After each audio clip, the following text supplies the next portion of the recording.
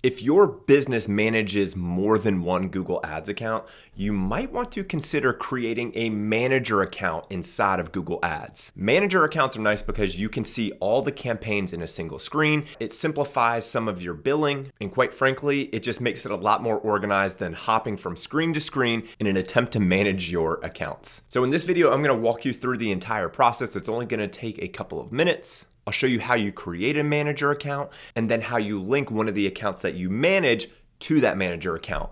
My name's Scott Redgate. I'm a digital marketing coach. I've managed over $50 million in Google Ads spend. And if you want to start saving some money in your Google Ads account, make sure to grab my free PPC cost cutting cheat sheet. You can get it at scottredgate.com slash cheat sheet, and I'll leave a link in the description below.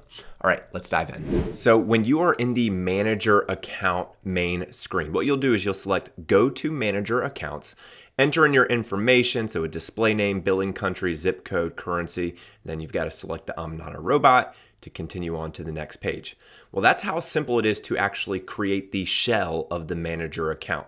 So now if you want to actually go in and link an account, you need to select accounts, and then right here, you'll select link existing account and then you'll enter in the ID of the Google Ads account that you want to link. Now, the admin of that Google Ads account will get a message in their inbox to approve or deny that request. And so in this instance, it's me.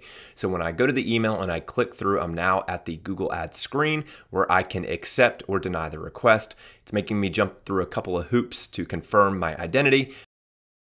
But once I do that, I'll be greeted with this screen to grant access.